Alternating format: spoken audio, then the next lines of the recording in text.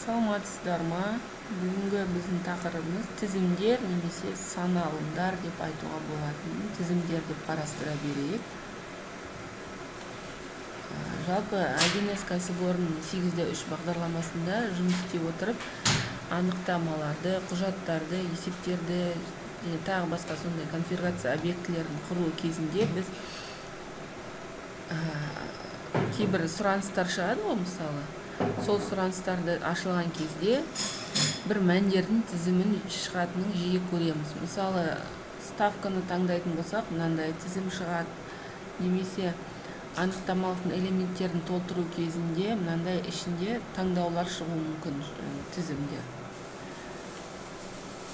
үчүнчүсү деректерди толтуруу кезинде аударымның басқа да түрлері осындай тізім түрінде шығуы мүмкін. Тізімдер бұл пайдаланушы ретте алмайтын немесе өзгерте алмайтын мәліметтер тізімі. Яғни олар жұмыс барысында өзгермейді өйткені олар конфигурацияға енгізілген және метод деректердің нысаны болып табылады. Яғни мысалы бұл жерден не айтуға болады? Жаңағы тізімде шығып тұрған мәліметтерді қолданушы өзі өзгерте алмайды немесе ретте алмайды орындарын өзгертіп е тағы бірдеңе қалай тұр солай тұрады ішінен тек біреуін таңдайтын таңдай алады. Енді конфигурацияны ашып мета деректер ағашында біз тізімдердің блогын ашып көретін болсақ ол мына суреттегідей көрініс түрінде көрсетіледі. Яғни тізімдер немесе саналымдар әр неге категория категорияға бөлініп сақталған? Иә аттары тұр сәйкесінше. Соның ішінде сәйкес тізімдер шығады. Егер енді бізде мынандай сұрақ туындайды. Егер осы каталогты қолдана отырып біз бірдей мәндерді таңдай алсақ неге тізімдеу керек онда? Яғни бұл жерде енді мындай былай жауап беруге болады. Тізімдер пайдаланушы таңдаған мәндерді пайдаланушы режиміне қосу мүмкіндігінсіз алдын ала орнатылған мәндерді шектеу қажет болған кезде қолданылады. Яғни бұл не деген сөз? Мысалы жаңа анықтама құрған кезде немесе белгілі бір құжат құрған кезде сізге сондай бір шектеу қою керек. Яғни пайдаланушы өзі енгізбейді тек алдын ала а, ішіндегі осындай мәндердің ішінен біреуін таңдау керек деген сияқты. Сондай кезде тізім қолдану өте ыңғайлы. Бұл жерде бағдарлама өзіне берілген атауды пайдаланып тікелей, тікелей аудару мәніне жүгіне алады.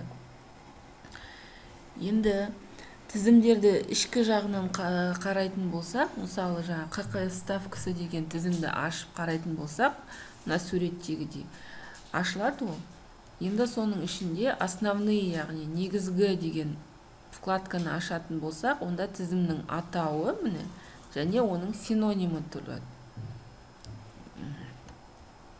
ары қарай ал данные яғни деректер вкладкасында не тұрады. Онда біз жаңағы неде программада осы нені ашқан кезде тізімнің ішінен қандай мәндер шығатынын соның несі тұрады мәндер тізімі. Мына жерде плюс жасыл плюсті қосу арқылы біз жаңа бір мән қоса аламыз. Мысалы ставканың жаңағы салықтың тағы бір түрі бар болса соны қоса аламыз. Енді жаңағыдай неде тізімді ашып ішіне өзгерістер енгізгеннен кейін программада ол көріну керек қой. Сондықтан біз өзіміздің программаны ашып жаңағы ққс мөлшерлемесін аударудың жаңа мәнін енгізу өзгерісінің қалай көрінетінін тексереміз. Ол үшін құжатта шот ставкаларының мәнін таңдауды ашамыз. Сонда жаңа таңдау мағынасында біздің жаңа енгізген қосымша неміз пайда болады. Енді тізімдегі мәндерді таңдау түрі. Жалпы тізімді таңдаған кезде біз кейбір тізімдерде кәдімгі мәндердің тізімі список болып шығып тұрады ал кейбіреулерінде мындай не шығуы мүмкін. Үшбұрышты стрелка сияқты кнопка шығуы мүмкін соның ішінен шығуы мүмкін иә? Сондай әртүрлі таңдау түрлері бар. Егер яғни мысалы қтс ставкаларын таңдау үшін ашылатын тізім түрінде қызметкерлер каталогында жаңа қызметкерлерді енгізу кезінде жыныс деген нені переключательді қосқышты орнату орнататын болсақ онда бұл жаңағыдай не санаулы ғой енді жынысы ол. Еркек немесе әйел иә? Сондықтан екеуінің біреуін таңдайтын болғандықтан бізде ол не тізім түрінде шыға келеді. Мысалы мынандай. Мынандай түрде шығады.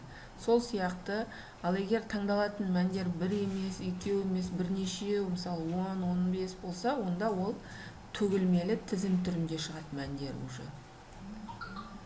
Сол сияқты егер сандық мән жаңағыдай өсіп не кемитін болса онда оны жаңағыдай не түрінде орнатып қоюға болады мындай үшбұрышты стрелкасы бар тізімдер түрінде. Сол сияқты нелерді орнатуға болады.